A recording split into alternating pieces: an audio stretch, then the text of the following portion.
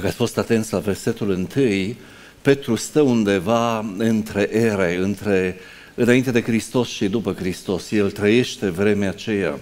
Și versetul întâi spune, norod s-au ridicat și el se întoarce și privește întregul Vechi Testament.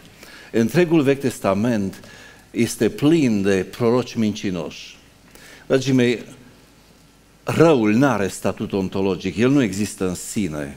Diavolul nu creează, diavolul strică ce a creat Dumnezeu. Răul este un bine pervertit, erezia este un adevăr stricat. Și întotdeauna diavolul și-a îmbrăcat slujitorii lui în înger de lumină și au stricat adevărul încercând să tragă o mulțime de oameni după ei. Și despre asta vorbește Petru. În norod s-au ridicat mulți proroci mincinoși. Vorbește despre toată istoria. Vă aduc aminte doar de un incident. Deja regatul fusese rupt după moartea lui Solomon, 10 seminții la nord, două la sud, în, în Israel domnea Ahab și Izabela, în Iuda era Iosafat. S-au încuscrit și Iosafat a venit să-și viziteze Cuscru. Și când a ajuns acolo împreună cu oastea lui, Cuscru i-a zis Ahab, este o cetate care ne-au luat-o sirienii, nu vii să o luăm înapoi? Și Iosafat a zis, N-ai aici vreun proroc care, ca să întrebăm pe Domnul? Zice, cum să nu? Și cât ai bate din pălm, a adunat 400 de, repet, 400 de proroci. Și toți au vorbit la unison. Domnul este cu tine, du-te și îi vei zbăvi.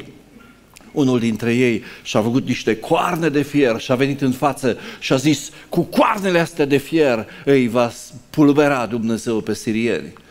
Iosafat stă și ascultă pe toți 400 cum proroceau înaintea lor și întreabă, da, iartă-mă, nu mai este niciun alt proroc? A, mai este unul mica, dar îl urăsc, spune Ahab. Totdeauna vorbește împotriva mea. Niciodată nu mi-a spus ceva de bine. Du-te, te rog, și cheamă-l să întrebăm pe Domnul.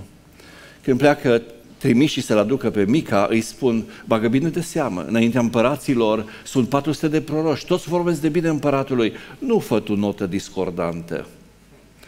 Mica spune, viu este Domnul, că voi spune doar ceea ce îmi va zice Domnul. Apare în fața împăraților și spune și el ca ceilalți, du-te, Domnul va fi cu tine, îi vei spulbera. Ahab se uită la el și ceva, nu îi se pare, zice, de câte ori să te pun să juri pe numele Domnului când vei spune adevărul și numai adevărul. Și dintr-o dată Mica deschide fereastra Văd poporul Domnului risipit ca pe niște oi care n-au păstor. Se înfurie Ahab, îl aruncă în temniță și spune, dați-i pâinea și apa întristării până mă voi întoarce cu bine. Ahab moare, Israel rămâne risipit. Dar gândiți-vă, 400 la 1. 400 la 1. Cu alte cuvinte, tehnica diavolului este să ridice cât mai multe voci altfel, care să placă inimii noastre, cum ați auzit, ca să ne luăm după ei, să putem trăi liniștiți cu viața noastră murdară. Dar observați Petru care stă între ere, între era sau epoca dinainte de Hristos și după Hristos. El vine și vorbește despre toată istoria care va urma în norod s-au ridicat și între voi vor fi. Nu cred că după 2000 de ani sunt mai puține astăzi ca și atunci.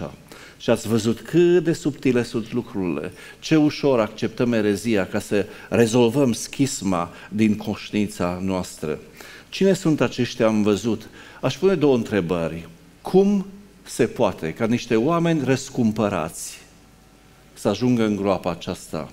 Și a doua întrebare, ce să facem să ne păzim de ei, să nu le călcăm pe urme?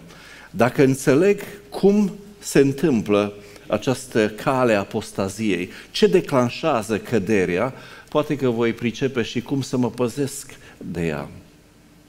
Și acum ascultați bine, am să citesc doar Biblia, nu vreau să pun cuvintele mele pentru că teologia mea nu are absolut nicio valoare dacă nu are un suport biblic și nu făcut din versete disparate ca să-mi placă inimii mele, ci lăsându-l pe Duhul lui Dumnezeu să vorbească prin text. Versetul întâi, au fost răscumpărați de stăpânul lor.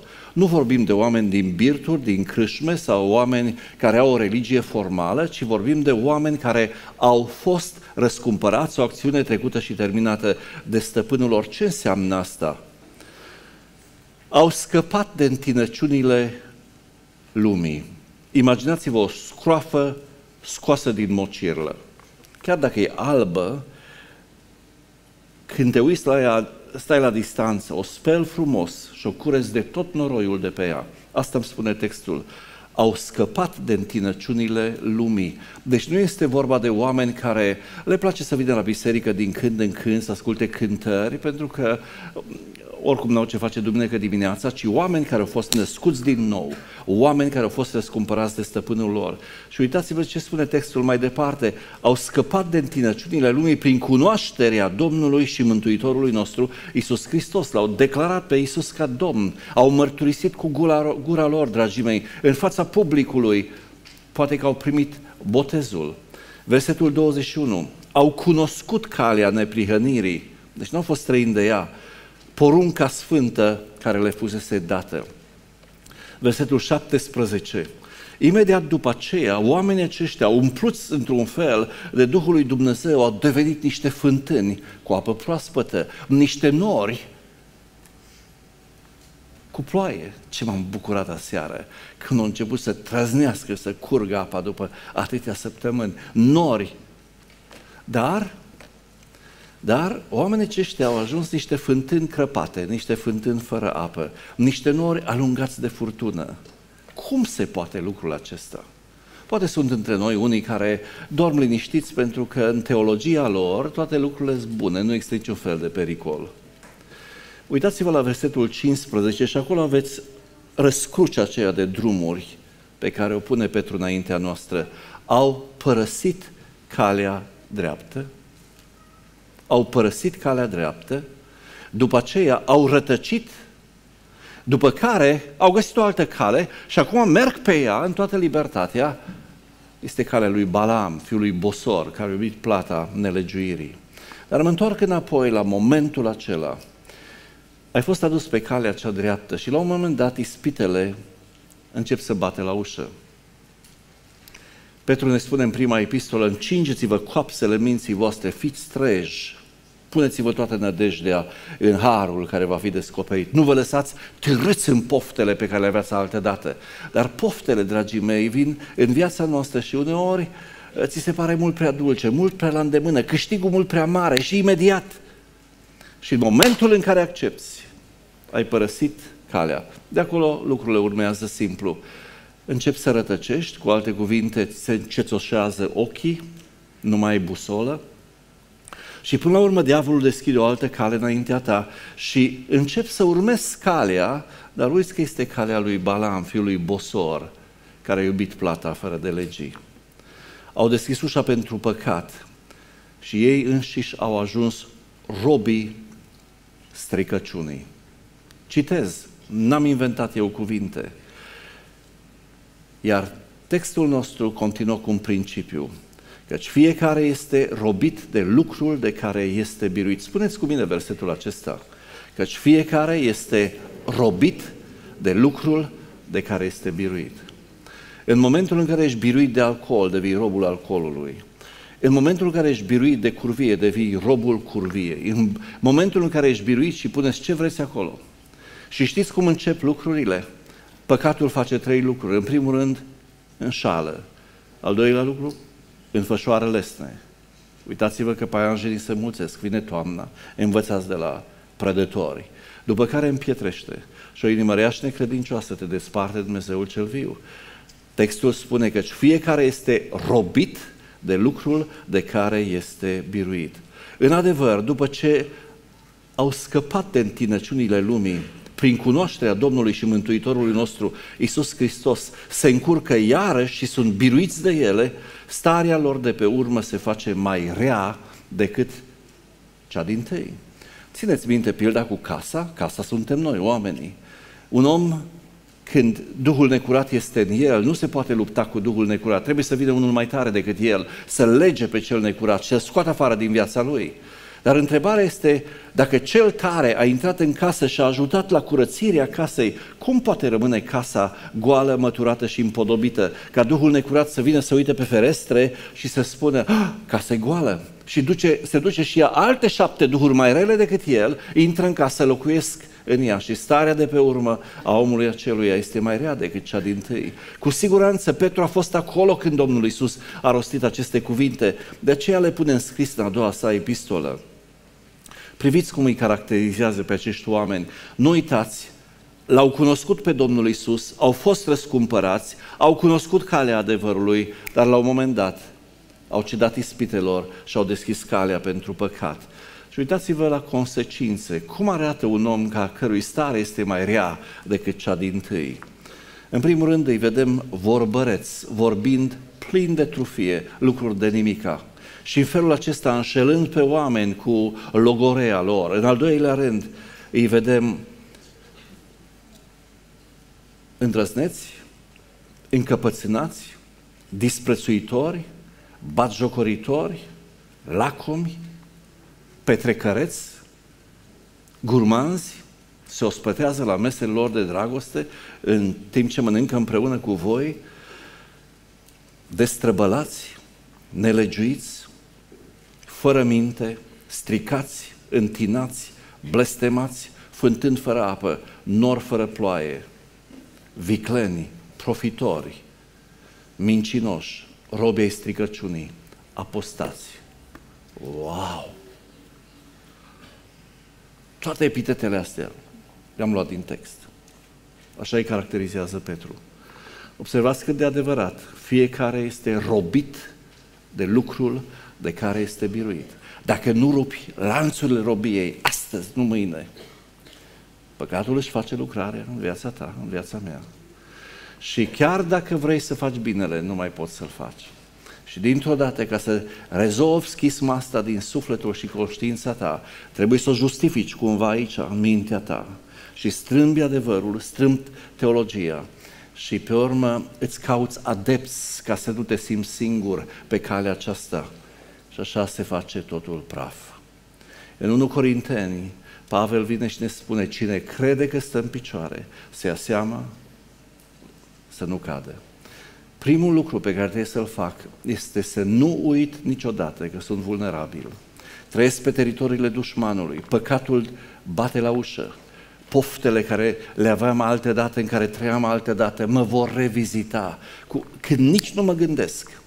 Și este suficient să părăsesc calea adevărului. De acolo încolo vine păienjenișul, rătăcirea și o altă cale care duce la pierzare și Dumnezeu știe să judece și să rostească dreptatea. Cum au ajuns niște oameni răscumpărați într-o astfel de situație? Dați-mi voie să recitesc miezul teologic al epistolei, primele versete, capitolul 1, începând cu versetul 3. Dumnezeasca lui putere ne-a dăruit tot ce privește viața și evlavia. Dumnezeasca lui putere ne-a dăruit tot ce privește viața și evlavia.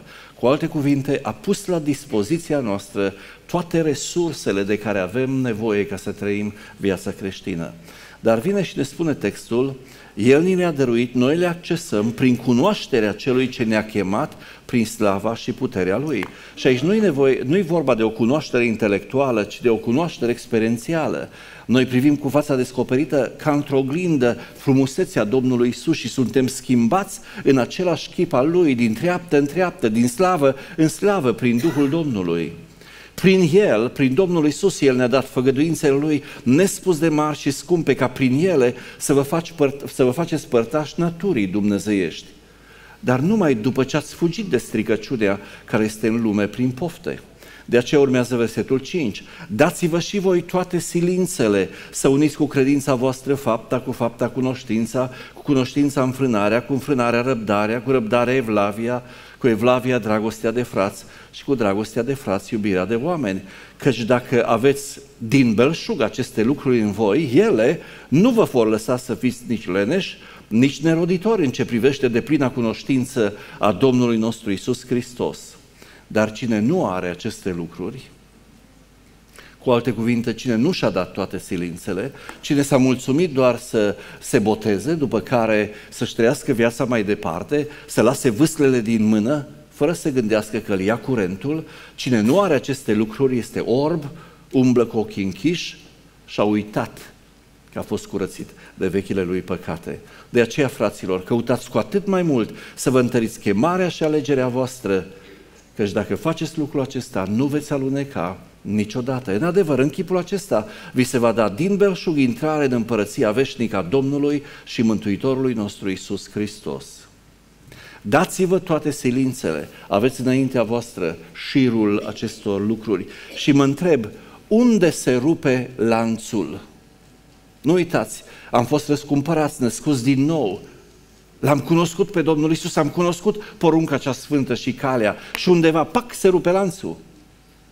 Și o luăm în direcție opusă împărăției. Cred că lanțul se rupe foarte devreme. Uniți cu credința voastră fapta, cu fapta cunoștința. Priviți la imaginea din fața voastră și imaginați-vă ce se întâmplă dacă împing fapta afară. Mie îmi rămâne credința. Credința se ancorează în o informație pe care o am despre Dumnezeu și lucrarea Lui și Domnul Isus Hristos. Nu le-am pierdut, astea citesc Evangheliile. Dar vreau să unesc cu credința cunoștința. Cu alte cuvinte, abia am venit, sunt flămând, însetat după a cunoaște mai multe din lumea aceasta nouă, din Scriptura asta care începe să capete sens. Dar Dumnezeu îmi spune să unești cu credința fapta. Nu totdeauna îmi convine lucrul acesta. Și atunci las fapta deoparte și vreau să merg mai departe pe scara pe care o pun înainte Scriptura. Din păcate, nu poți scurcircuita planurile lui Dumnezeu. Iacov ne spune, credința fără fapte este moartă. Poate vă întrebați ce-i credința? Ce-i credința? Dragii mei, am un computer în fața mea, acolo este o priză și în capătul prizei este un ștecher și aici am o jucărie care mi-o bag ca să iau din sursa de putere și să-mi alimentez calculatorul meu. Știți să facă foarte multe lucruri. Dacă ține legătură cu sursa. Dar imaginați-vă că undeva aici se întrerupe un fir. Sau ștecherul meu este stricat. Deși există putere la dispoziția mea, câtă am nevoie, eu nu am acces la ea. Pentru că credința mea, când este moartă, nu se poate sau nu poate alimenta trupul cu puterea pe care Dumnezeu o pune la dispoziția mea. Când Pavel se roagă pentru Efeseni, zice, Doamne, deschide ochii minții și a inimii să priceapă trei lucruri. Care este nădejdea chemării? La ce ai chemat? Ce planuri ai pentru ei? Care e viitorul care l-ai pus înaintea lor? Care e bucuria aceea pusă înainte pentru care se merită să disprețuiești crucea și rușinea? Se merită să faci lucrul acesta. Pe urmă, deschide ochii să vadă ce se întâmplă în ei când trăiesc în ascultare de cuvânt, cum Dumnezeul nevăzut vine să prindă contură din ei, care e bogăția slavei, moștenirii lui Dumnezeu în sfinți. Și al treilea lucru, Doamne, te rog, deschide-le mintea să priceapă că au la dispoziție cei credincioși toată puterea de care au nevoie. Știți ce spune Pavel? Pavel vine și ne spune că dacă primim în toată plinătatea harul și darul de prienirii, vom domni în viață împreună cu Hristos. Dar eu trebuie să primesc prin credință harul și darul neprihănirii. Am o baterie, așa că merge și fără. O vreme. Așa se întâmplă și în viața creștină. Trebuie să primești prin credință. Ce se întâmplă când ai împins fapta din viața ta? Nu te grăbești să legi credința de faptă. Credința moare. Când credința moare, se întrerupe relația între tine și Dumnezeu. O vreme mergi pe baterie și ai impresie că toate lucrurile sunt bune, dar încetișor apare semnalul. Mai 5%, mai 3%, bum, se stinge totul. Și nu mai poți trăi viața creștină. În norod s-au ridicat și proroci mincinoși, cum și între voi vor fi învățători mincinoși, care vor strecura pe furiș, da? Chiar dacă am scos din priză, încă lucrurile merg, încă mă simt în largul meu, vor strecura pe furiș rezii nimicitoare, se vor lepăda de stăpânul care i-a răscumpărat și vor face să cadă asupra lor o pierzare năprasnică. Dar ascultați tragedia imensă care e în versetul următor. Mulți îi vor urma în destrăbălările lor și din pricina lor calea adevărului va fi vorbită de rău. Cum pot să evit să fiu între cei mulți? Cum pot să evit să fiu între cei mulți? M-aș opri pentru că n-aș vrea să spun ceea ce urmează fără Raul și Ramona între noi. Cred că au venit deja și îi putem invita înăuntru.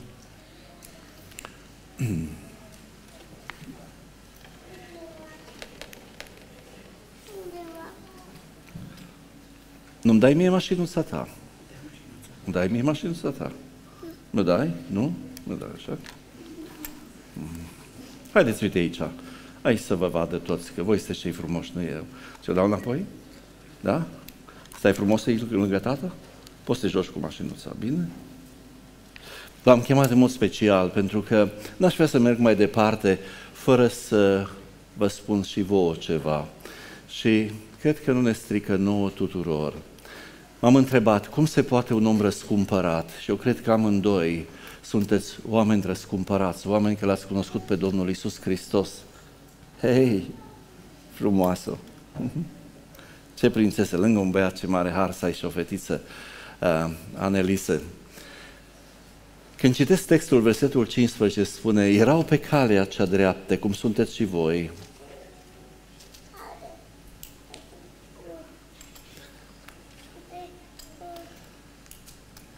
David, trebuie să fii cu minte acum, să mă ascult și pe mine, da? Că pe mergem să ne jucăm. Deci, erau pe calea dreaptă, cum suntem poate mulți dintre noi. Textul spune, au părăsit calea cea dreaptă, au rătăcit a urmat calea lui Balan, fiului Bosor, care a iubit plata fără de legii. Dragii mei, nu la întâmplare cred eu că în Scriptura noastră primul psalm este psalmul care ne dă cheia. Ascultați-l, Raul și Ramona și noi toți ceilalți. Ferice de omul care nu se duce la sfatul celor răi, nu se oprește pe calea celor păcătoși, nu se așează pe scaunul celor batjocoritori. Citiți încă o dată textul din Petru și veți vedea că oamenii noștri, la un moment dat, au părăsit calea adevărului și au pornit pe calea celor răi. Au rătăcit, după care s-au așezat pe scaunul celor batjocoritori și îndrăzneți care disprețuiesc autoritatea. Dar versetul 2 este cheia, Raul, și în primul rând mă uit la tine. își găsesc plăcerea în legea Domnului și zi și noapte cugete la legea Lui. Știu că ești cap de familie, trebuie să pui pâinea pe masă, te mai ajută și soția, când nu e în concediu de maternitate, dar tu ai preoția. Și tu nu poți abdica, nu poți transfera, cu toate că e mai deschisă spre cele spirituale, ca și tine, așa cum e și soția mea, dar tu rămâi preot și responsabil înaintea lui Dumnezeu.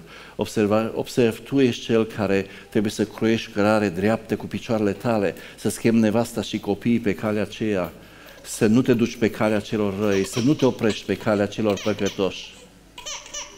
Ei bine, ei bine și așa. Unde-i țusla?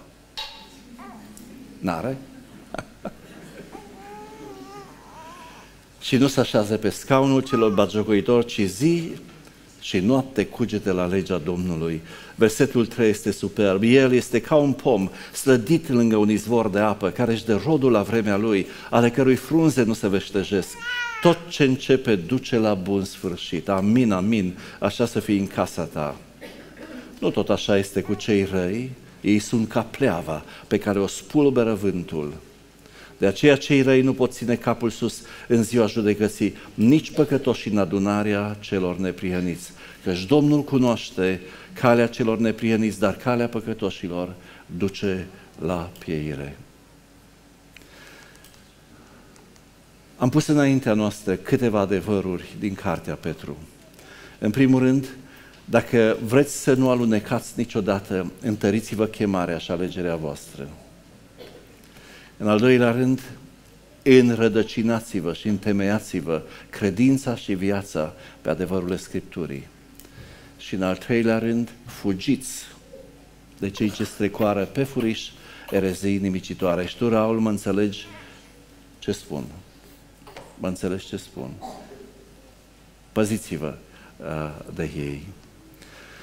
Și acum două vorbe și pentru analize. Da, da, nu se întâmplă nimica.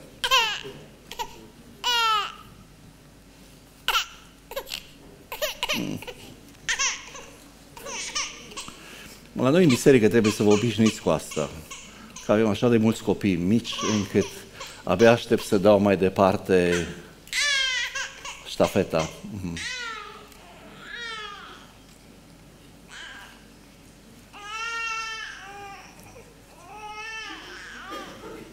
Stați liniștiți.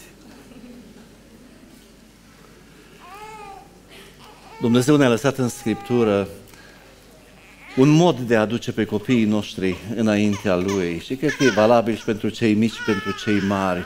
Moise a primit din partea Domnului porunca numer 6 cu 22. Vorbește lui Aron și fiilor lui și spune-le, așa să binecuvântați pe copiii lui Israel și să le ziceți, să știți că binecuvântarea asta nu e doar pentru Anelize, și pentru Raul și Ramona și pentru fiecare dintre noi, pentru fiecare dintre noi. Domnul să te binecuvinteze și să te păzească, Anelize. Domnul să facă să lumineze fața Lui peste tine, să îndure de tine, Anelize.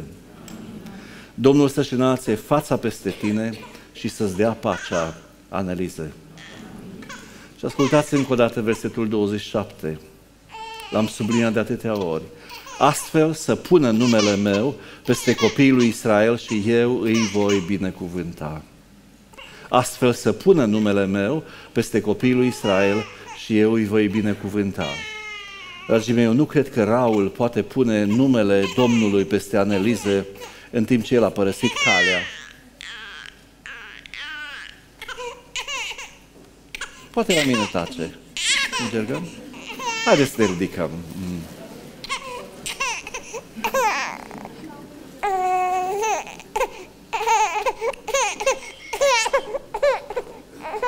Știu, știu, iubiți.